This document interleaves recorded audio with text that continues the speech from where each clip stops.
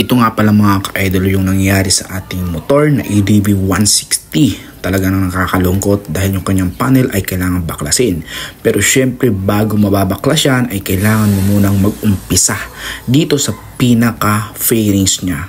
So, isang tornilyo sa ibabaw. Meron din yan mga ka-idol sa parang secret box na yan na isang tornilyo.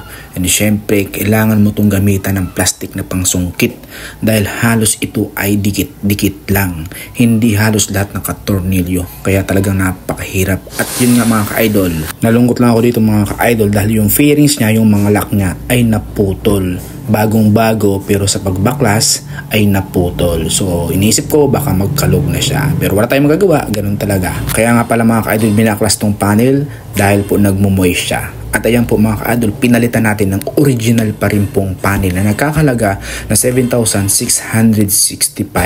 Ayan, kaya mga ka-idol, no choice ako kundi palitan po ng bago. Ayan, kung makita nyo po, binunot lamang po yan. So, ganyan lang siya kadali bunutin kapag natanggal na yung kanyang fairings dito sa ibabaw. And then, syempre, yan po yung dahilan kung bakit po nagmo-moist. Ayan. So, di ko alam kung issue ba to or uh, talagang nagkaroon lang siya ng problema. Siyempre, pinalitan natin ng bago. Ayan.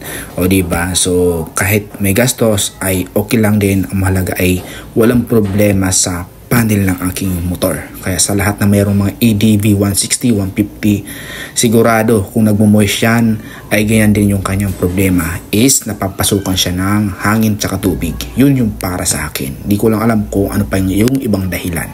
Ayan mga kadol, thank you for watching.